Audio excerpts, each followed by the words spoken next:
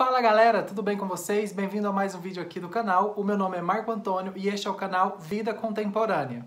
No vídeo de hoje, vamos fazer uma resenha de um perfume sucesso do Boticário, que é o Malbec Flame. Vou pedir para vocês se inscreverem no canal, acionarem também o sininho para vocês ficarem antenados em todos os conteúdos que eu estou soltando aqui no canal então, neste vídeo, eu vou passar para vocês as informações referente a notas, né, a pirâmide olfativa desta fragrância, quanto eu paguei, as minhas percepções, se eu indico esse perfume para dar blind, quer comprar no escuro, né, ou presentear alguém, tudo mais. Então, se você quer saber essas informações, as minhas opiniões a respeito deste perfume, é só permanecer neste vídeo. A embalagem é essa daqui, é uma caixa, ela tem assim uma cor azul, um azul bem, bem fechado, um azul mais escuro. Tem uma textura bem interessante, aqui dá pra ver direitinho, ó, pegando aqui ao, a contraluz, uma textura bem legal, tem esse desenho. A escrita aqui é puxada para o laranja, para um dourado mais forte, né? A mesma escrita do Malbec, é bem tradicional. Aqui as informações do briefing do perfume e aqui as informações é, sobre é, código de barra, composição, essas informações mais técnicas está aqui. Caixa super linda, super clássica, né? Eu amo a linha Malbec, eu acho assim show de bola, acho super é, chique o frasco é esse daqui.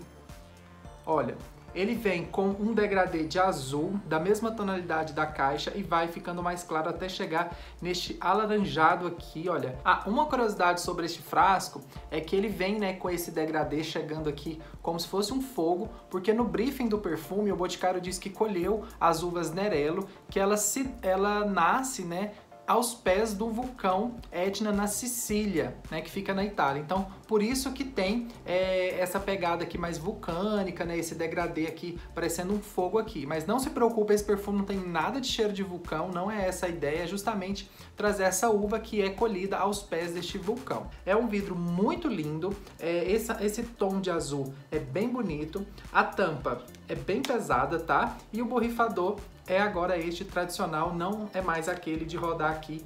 Este é bem mais moderno, muito melhor. O formato do vidro segue também como todos os outros da linha Malbec, né? É bem clássico esse formato aqui triangular. Tem essa bordinha aqui dourada e esse degradê divino. Antes de falar as minhas percepções sobre este Malbec, eu vou passar para vocês as notas, né? A pirâmide olfativa deste perfume. Eu já tenho aqui é, uma colinha do Fragrantica e eu já vou passar para vocês as notas. Começando pelas notas de topo, este perfume leva noz moscada, bergamota e tomilho. Notas de coração, óleo de pimenta, flor de laranjeira, alecrim e gardênia. E de base temos uva, couro, patchouli, resina de sião, cachemir, cedro, madeira guaiaque, avelã, musgo e baunilha. vou testar aqui o borrifador para vocês verem e também para eu poder sentir esta fragrância junto com vocês aqui no vídeo.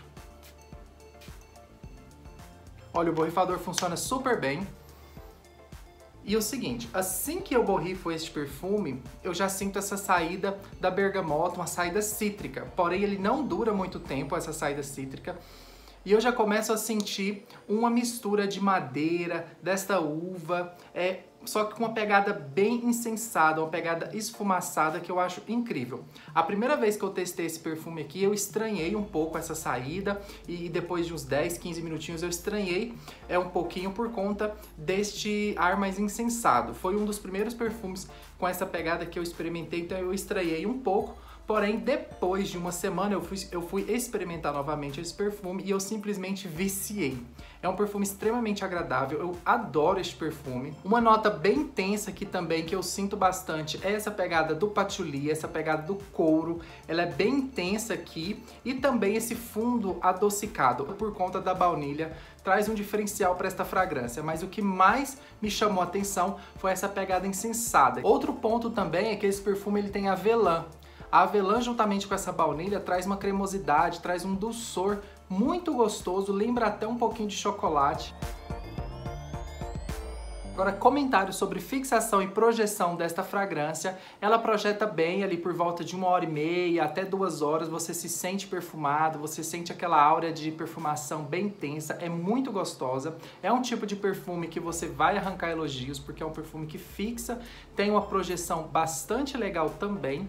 E na pele, fixando assim por mais de 8 horas, 9 horas facilmente, tá? Eu digo assim, 8, 9 horas, a fragrância viva, bem mais intensa. Mas ela fica na pele, por exemplo, eu já fiz o teste que ela ficou até quase 15 horas, eu conseguia sentir na minha pele de forma bem mais fraca, porém ainda estava lá, então estava fixando até 8, 9 horas, ela fixa mais intensamente. Você consegue sentir sem ter que puxar muito na pele. Agora, se eu acho se é um bom perfume para você dar blind, quer comprar no escuro sem experimentar ou presentear alguém sem conhecer direito o gosto da pessoa, acredito que não porque é uma fragrância extremamente marcante, ela é intensa, ela é insensada, ela é um pouco diferente do convencional. Não é um perfume feito para agradar a grande massa, se bem que foi um sucesso, foi um perfume super bem elogiado, né, lançado em 2020 porém tem que tomar um pouquinho de cuidado. Então, se você tem curiosidade, vai numa loja boticário ou pega alguma amostrinha com alguém ou até mesmo alguém que tenha, você pode experimentar né, dessa pessoa para ver primeiro se você gosta. Sobre versatilidade dessa, dessa fragrância aqui, deste perfume, acredito que ele seja mais para noite, porém nada te impede de usar durante o dia. Eu já utilizei em dias mais quentes, eu só tenho que tomar cuidado com as borrifadas. Sobre as ocasiões de uso, acredito que ele passa pelo aroma dele, pelo cheiro dele, um, um, umas ocasiões mais formais, talvez uma balada, talvez uma festa, um happy hour, algo assim. Não acho que seja um perfume bom para você fazer exercício ou para dar volta no parque, algo mais leve assim. Eu acho que tem outras outras fragrâncias com essas propostas. Esse aqui eu acredito que ele foi feito mais para uma ocasião especial, para uma reunião, algo do tipo. Acredito que as dicas de, de vestimentas para este perfume seja mais é, uma calça jeans, um tênis, algo mais alinhado, um pouco mais arrumado. Este rapazinho aqui eu comprei na loja física do Boticário e se eu não me engano eu paguei o valor de 180 reais.